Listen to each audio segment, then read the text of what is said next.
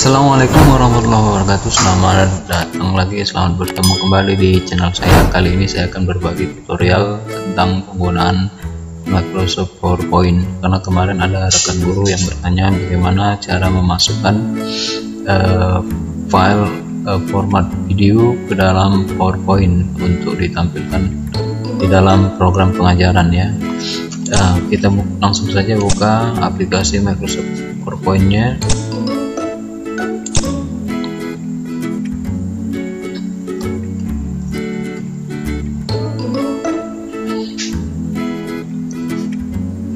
pilih blank presentation.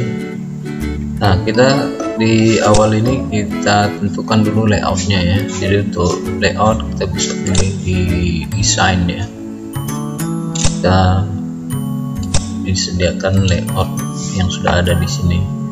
Kalau kita mau layout yang more advance mungkin kita bisa download ya. Bisa kita install pluginnya ke dalam uh, PowerPoint. Kalau ini plugin-plugin standar yang ada di PowerPoint. Nah, kita pilih aja ini ya ini agak keren nih. Nah, kita buat di sini. Belajar.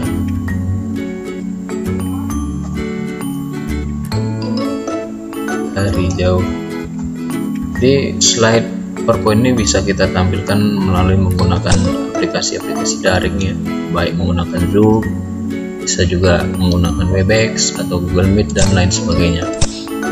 Nah ini kita bisa atur posisi layoutnya.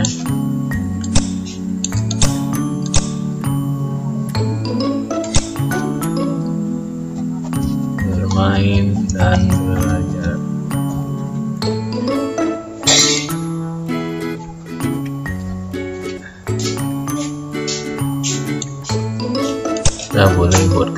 shape filenya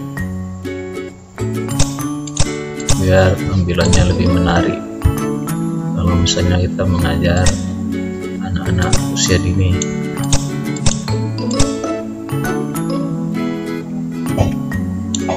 Kemudian kita tambahkan saja di sini shape-nya.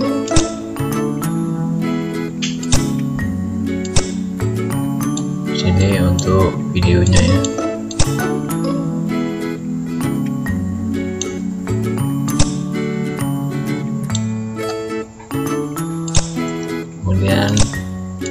kita sediakan kolom materi yang akan kita jelaskan kepada anak-anak.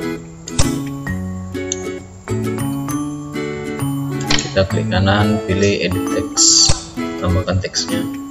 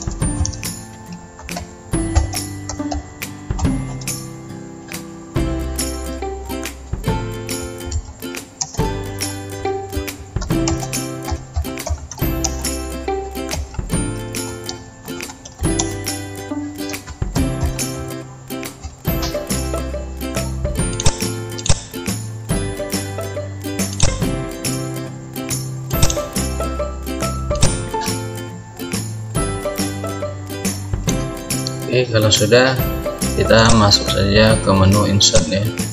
Nah, di sini di menu insert banyak sub-sub menu yang sudah tersedia. Kita arahkan ke bagian paling kanan ya. Di sini ada video, kita pilih. Di sini ada dua sub menu lagi, online video dan video on my PC. Jadi karena kita mau sudah ada videonya di dalam komputer, maka kita pilih video on my PC kemudian kita pilih kita browse datanya.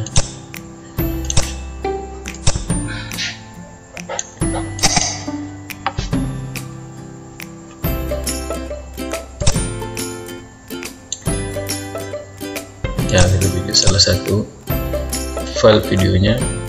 Nah Uh, pada saat kita pilih di sini kan dia langsung full full satu slide ya. Maka kita atur aja posisinya. Ya seperti ini.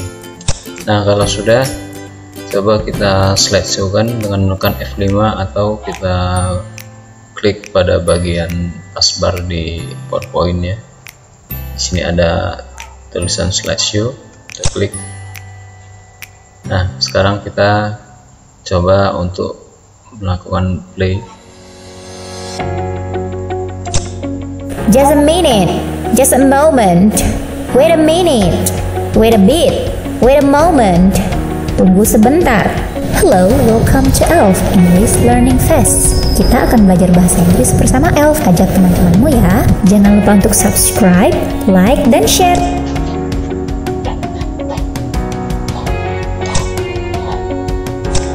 Minute. Kamu suka kue? By the way, seven. For what? For what? Untuk apa? jadi ini mungkin Kadang-kadang juga diucapkan what for eh, rekan atau kita menggunakan aksen British. For what? melakukannya For what? semoga dapat manfaat Berbeda ya dengan aksen Amerikan yang hidup bunyi R-nya seperti for what? saja wabillahi taufiq For what? For what? Atau what for? What for? Jangan ribut, sama ya, be quiet please.